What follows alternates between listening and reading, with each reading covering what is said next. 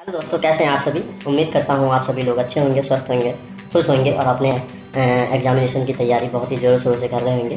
तो आप सभी का स्वागत है मेरे YouTube channel food tech fact check में और आज मैं आपके लिए बहुत ही इंपॉर्टेंट टॉपिक ले और जो बहुत ही इंपॉर्टेंट टॉपिक है, वो है सेंट्रल एडवाइजरी कमेटी तो आज हम सेंट्रल एडवाइजरी कमेटी के बारे में बात करेंगे। बारे में कवर करेंगे, वो इस प्रकार से है। पहला हम इसके ऑर्गेनाइजेशन स्ट्रक्चर के बारे में बात करेंगे, दूसरा हम इसके जॉब रोल फ़ंक्शन के बारे में बात करेंगे। चलिए पहले देख ऑर्गेनाइजेशन स्ट्रक्चर को अगर हम देखें तो इसका एक होता है, जो कि एफ़ का जो सी होता है, वही इसका चेयरपर्सन होता है। और अदर मेंबर्स में इंक्लूड होते हैं, और फ़ूड सेफ्टी कमिश्नर इसके मेंबर होते हैं। दो मेंबर डिफरेंट ऑर्गेनाइजेशन से होते हैं।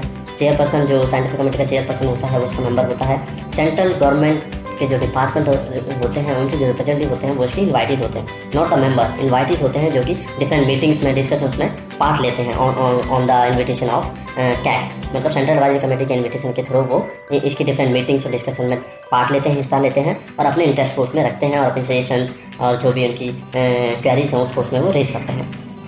अब हम देखेंगे कि जो दो मेंबर ईच हैं डिफरेंट ऑर्गेनाइजेशन वो organisation member each from different organisation होते हैं वो पहला है फ़ूड इंडस्ट्री से।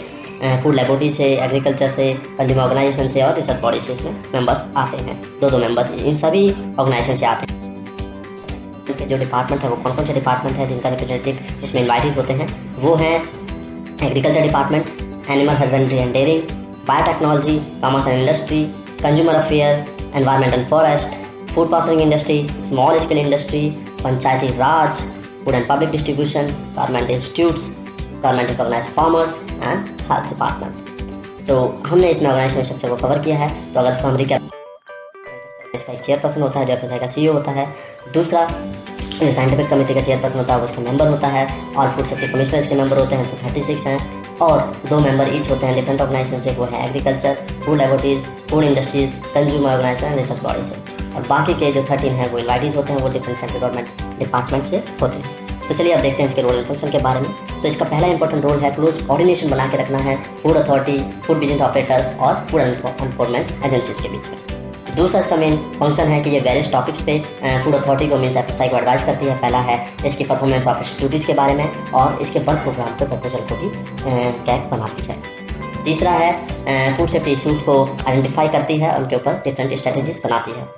फोर्थ है पूलिंग ऑफ़ नॉलेज नॉलेज की पूलिंग करती है different different countries different different resources से नॉलेज का लेकर वो कैसे उसको डिस्ट्रीब्यूशन करना है, कैसे मास कंज्यूमर तक पहुँचाना है क्या क्या वर्क प्रोग्राम करने हैं, वो सभी पूलिंग ऑफ़ नॉलेज बनाते हैं। फिफ्थ है रेगुलर मीटिंग करना ऑन कॉल ऑफ़ चेयरपर्सन या सी ऑफ़ एफ़ और minimum if one by third member are agree to the meeting अगर one by three members meeting के लिए एग्री तो भी मीटिंग होगी, या on call of of chairperson अगर मीटिंग बुलाते हैं तो भी मीटिंग होगी होगी मीटिंग का क्राइटेरिया दिया हुआ है साल में कम से कम तीन बार होनी चाहिए एज पर दैट एक्ट उससे ज़्यादा भी हो सकते हैं but minimum thrice in in year तीन बार होनी चाहिए।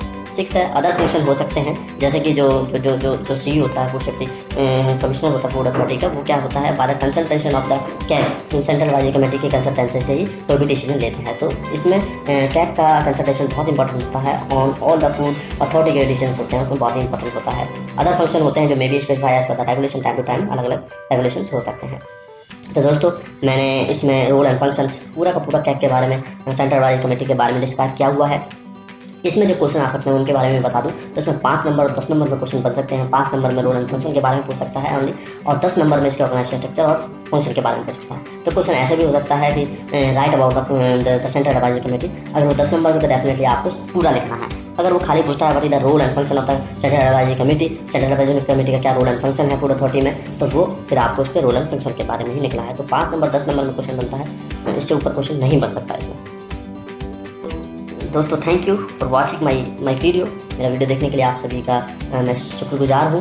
प्लीज़ मेरे वीडियो को लाइक करें सब्सक्राइब करें। मैं यूट्यूब पर नया हूँ तो प्लीज़ मुझे मोटिवेट करें बाय सब्सक्राइब माई चैनल और लाइक माई वीडियो ताकि मैं आपके लिए और भी एफ़ के सिलेबस के जो कंटेंट है इंपॉर्टेंट टॉपिक्स हैं, उनको जल्दी से जल्दी आपके लिए कवर कर सकूँ। Thank you